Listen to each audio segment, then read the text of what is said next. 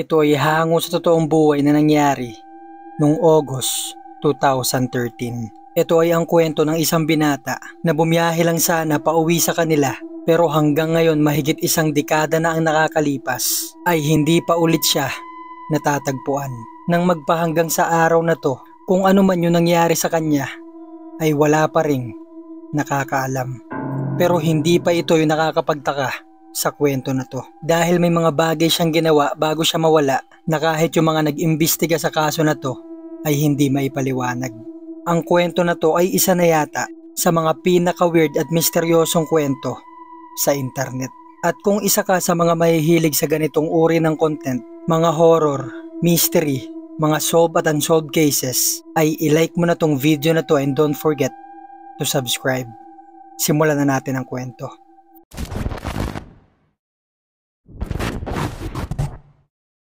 Noong mid-August 2013, si Karen at si Michael Aspisa ay nag-aasikaso na ng mga gamit ng nag-iisa nilang anak na si Bryce dahil kailangan na nitong bumalik sa Sierra College, Rocklin, California kung nasan yung apartment nito para ipagpatuloy na nito yung pag-aaral niya dahil magpapasukan na naman. Tuwang-tuwa si Karen at si Michael dahil imbis na magbakasyon nitong si Bryce, ay mas pinili nito na makasama sila ng summer at silang tatlo yung magbakasyon na magkakasama. Imbis na mag-relax ito, bago magpasukan. Nakatira sila noon sa Laguna Niguel, California na may layo na halos 750 kilometers papunta sa campus ni Bryce. Ito ay aabuti ng mahigit pitong oras na pagdadrive kaya magkasama silang dalawa na maghahatid sa kanya. At nung makarating nga sila sa apartment ni Bryce, tinulungan nila mag-asikaso. At makalipas lang ilang oras ay nagbababay na sila sa isa't isa dahil kailangan na rin umuwi ni Michael at ni Karen.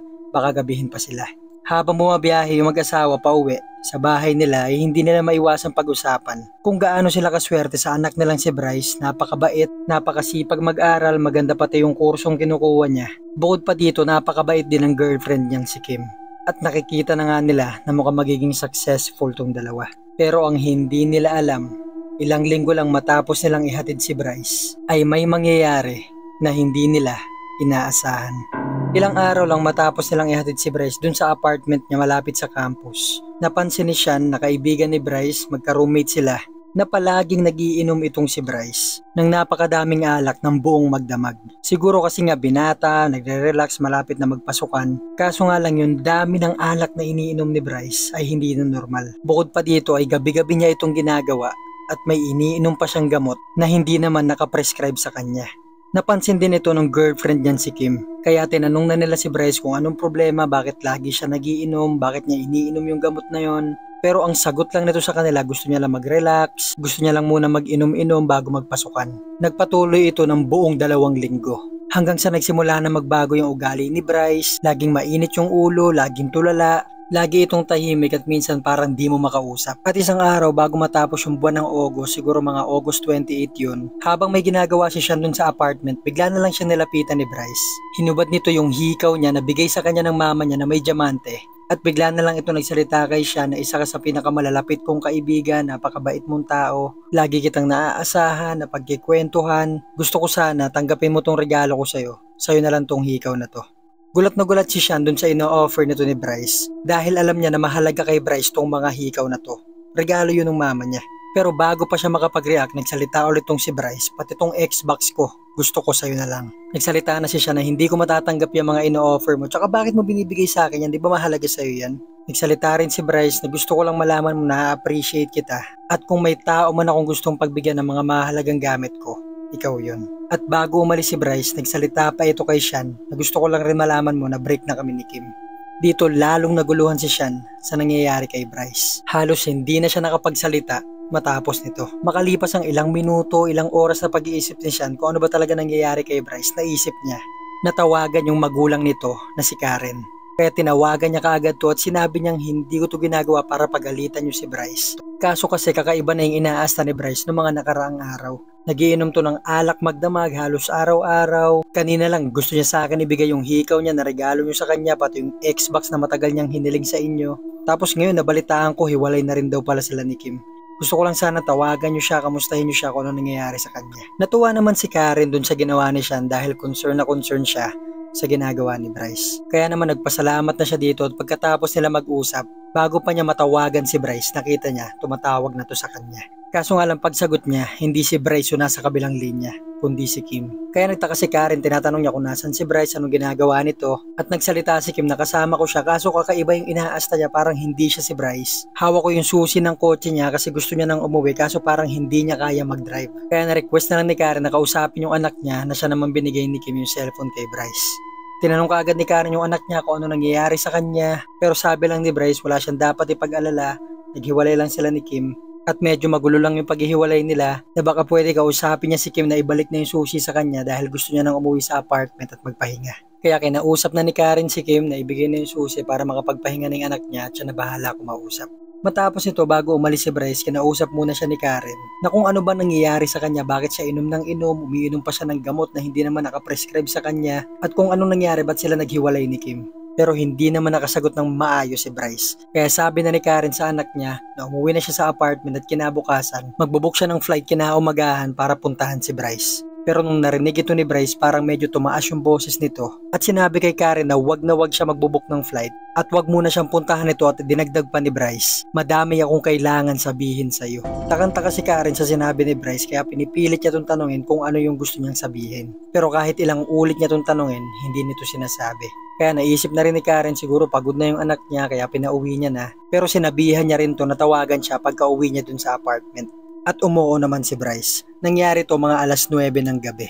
Makalipas ang ilang oras, alauna na madaling araw so August 29, Tinawagan ni Bryce yung mama niya na si Karen para siguro ipaalam dito na nakauwi na siya sa apartment kaso tulog na si Karen noon kaya hindi niya nasagot yung tawag. At makalipas ang 10 oras so 11am nung August 29, nakareceive si Karen at si Michael ng notification na ginamit ni Bryce yung Insurance Roadside Assistance Service nila. Kaya't nagtaka sila naisip nila baka nasangkot si Bryce sa aksidente o kaya naman baka nasiraan sa kalsada. Kaya tinawagan nila si Bryce ng paulit-ulit pero hindi ito sumasagot. Kaya tinawagan nila ngayon si Sean, sumagot naman ito at sinabihan nilang baka pwede nilang makausap si Bryce. Kaso sabi ni Sean wala dun si Bryce at ang totoo pa nga ay hindi ito umuwi kagabi.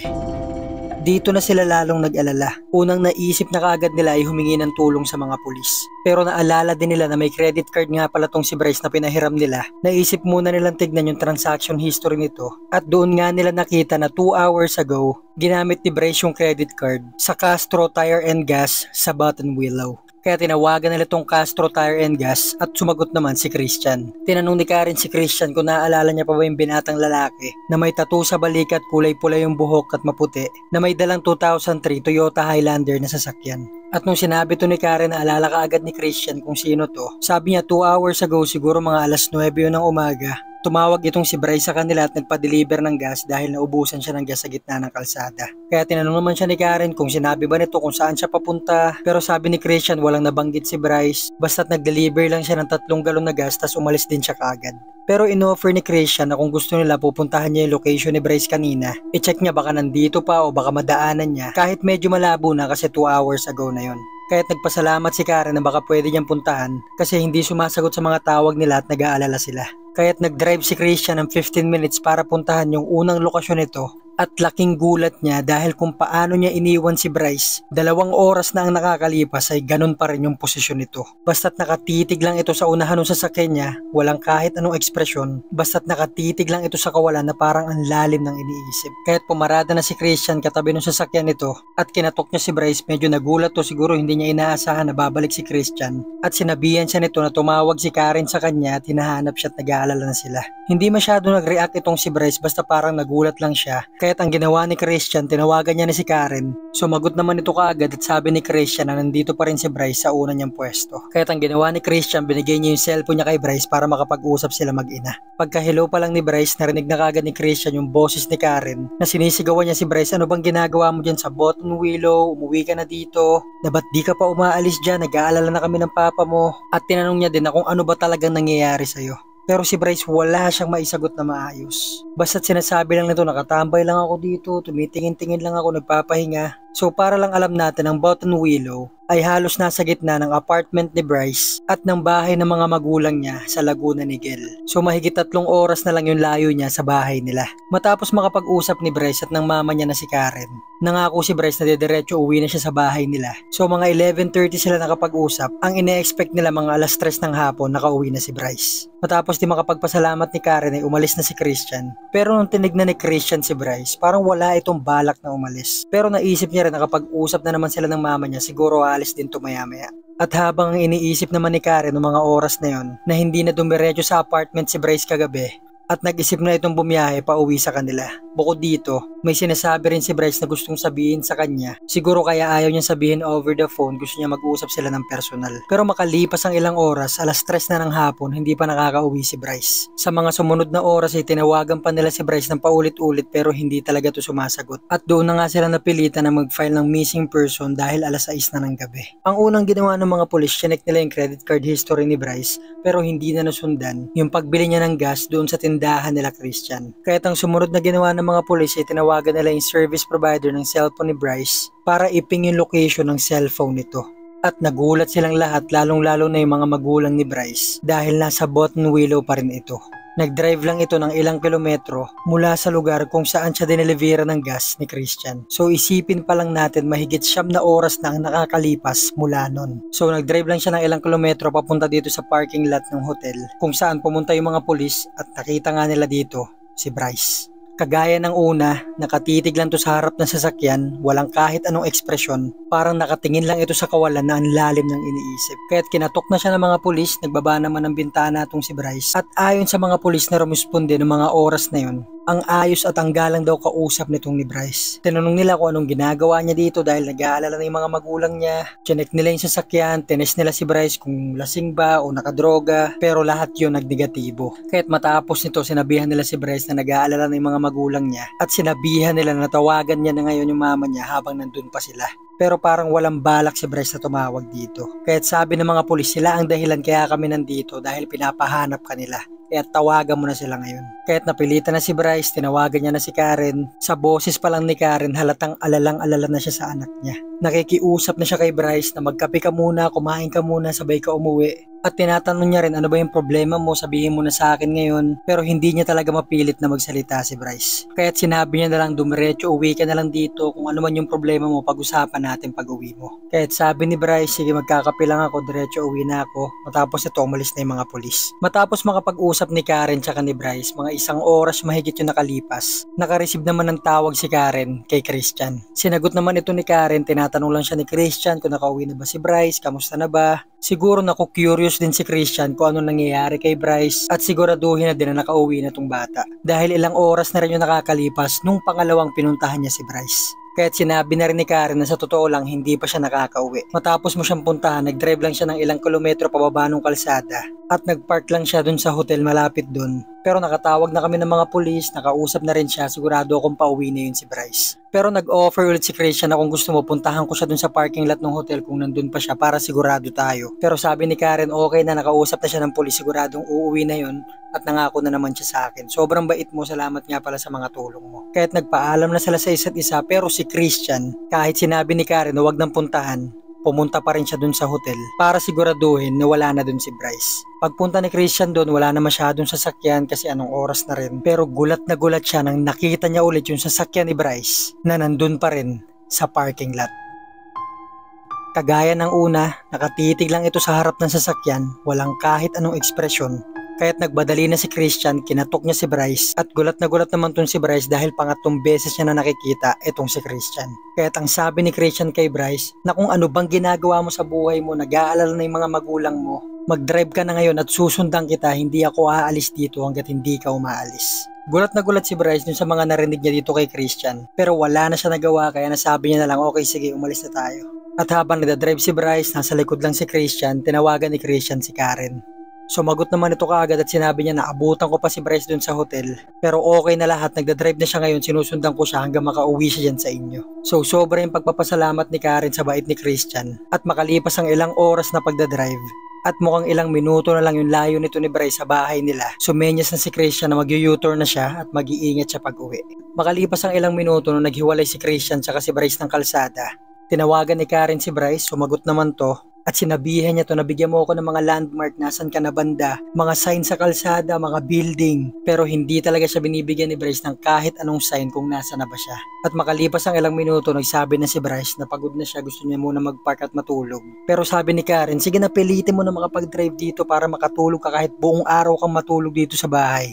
Pero sabi ni Bryce, pagod na talaga siya, gusto niya muna magpahinga. Narealize din ni Karen na halos buong araw na palang walang tulog tong si Bryce. Kaya't sinabihan niya lang to na pagkagising mo tawagan mo ko kaagad. Na sinang-ayuna naman ni Bryce. Kinaumagahan siguro mga alas 8 na ng umaga. May nagsimula na mag-doorbell sa bahay nila Karen. Kaya't nakahinga na ng maayos yung mag-asawa na isip nila na sa wakas nakauwi na rin si Bryce. Pero pagbukas nila ng pinto, dalawang pulis yun nandun at tinatanong sila kung kanila ba yung sasakyan na 2003 Toyota Highlander.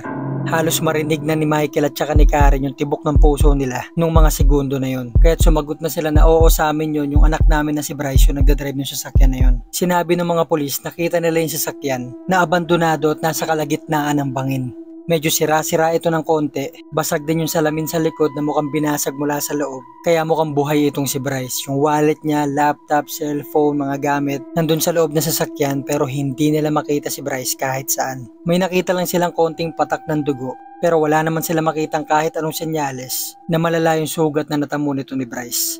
At dahil nga wala silang kahit anong idea kung saan ito napunta, Kumuha na sila ng police dog at pinahanap yung amoy na to ni Bryce. Nakuha naman kaagad ito ng mga aso. Kahit sinundan lang ng mga police kung saan pupunta itong mga to. Medyo malayo yung nilakaran ng mga aso, pumakyat pa sa bridge, sa dam. Pero huminto yung amoy nito sa paradahan ng mga truck. Kaya't inulit nila to ng inulit pero ganun lang din yung ginagawa ng mga aso. Humihinto lang yung mga to sa paradahan ng truck. Ayon sa pag-iimbestiga ng mga pulis, yung pagbagsak ng sasakyan ni Bryce sa bangin ay pasadya. Kaya't ang tingin nila dito ay failed suicide attempt. Pero yung mga magulang ni Bryce wala talaga silang makitang kahit anong pwedeng dahilan kung bakit niya to gagawin. Bukod dun sa sinasabi niya sa magulang niya na marami siyang kailangan sabihin. Marami nagsasabi na nagpakalayo-layo ito si Bryce at nagsimula ng bagong buhay. Marami din nagsasabi siguro mental breakout ito o dahil ito sa gamot na iniinom niya na hindi naman nakaprescribe sa kanya. Ano kayang pwedeng nangyari kay Bryce? Buhay pa kaya siya? At kung saan kaya siya napunta? Pero hanggang ngayon wala pa rin nakakaalam kung anong nangyari kay Bryce nung araw na yon. At ayan ang kwento ko sa inyo ngayong araw. Huwag niyong kalimutan mag-like, mag-comment at mag-subscribe. At magkita-kita na lang tayo sa susunod na kwento. At shout out nga pala sa mga viewers natin na to.